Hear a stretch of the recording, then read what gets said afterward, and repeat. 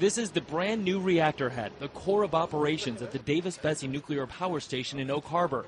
It'll contain the nuclear fuel rods that heat water into steam, steam that will power the plant's turbine and generate electricity.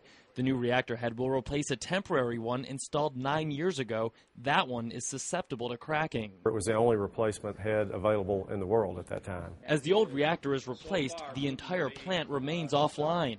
On a close-up tour today, we found it looks more like a construction zone as workers hastily complete the installation. It has been a fast-track project for us. Originally scheduled to take place three years from now, replacement was moved up after an inspection last year revealed one-third of the old reactor's control rod nozzles needed modification.